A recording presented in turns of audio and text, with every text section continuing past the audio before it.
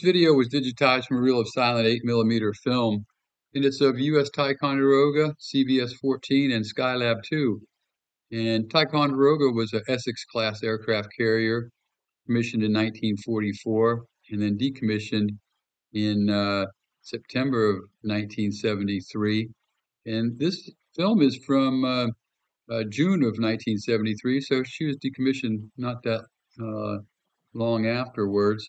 And uh, uh, Skylab 2 was manned by Charles P. Conrad Jr., Joseph P. Kerwin, and Paul Welch. And uh, uh, during this mission, they set a record for the longest duration of a crewed spacecraft, uh, greatest distance traveled, and greatest mass uh, docked in space. And Pete Conrad set the uh, record for the most time in space for an astronaut on this trip.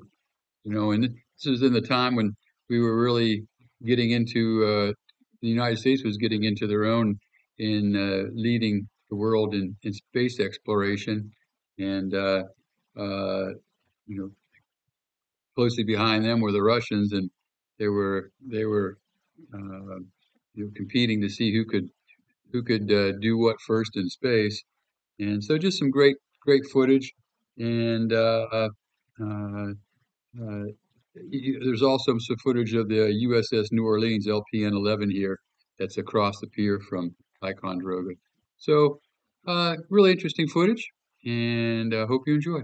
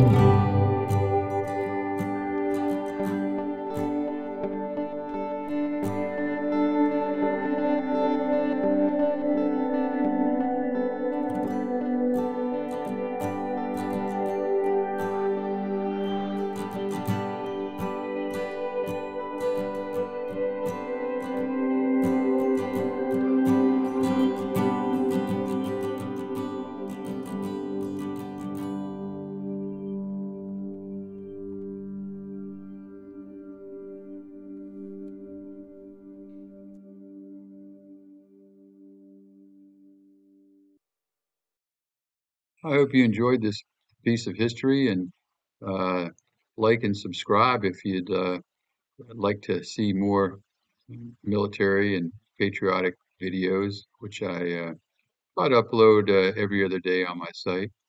And uh, if you're interested in a, a good read, check out my books at uh, www.edsemler.com.